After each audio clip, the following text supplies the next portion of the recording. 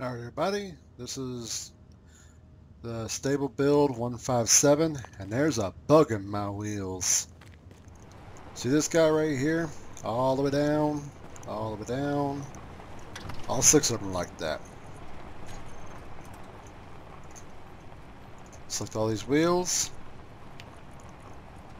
Suspension travel is supposed to be 100%. This thing's supposed to be sitting on the ground. Now let's set this guy to zero. See what happens. Nothing. Not a thing.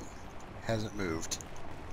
But if I cut it and then copy it, um, and then paste it, the wheels are now set to their to zero position. Still no travel as that wheel right there would be on the ground. And so yes, there's a there's a bug on my wheels, which makes driving a rover on the moon completely impossible. so far that's the only one I found. Thanks.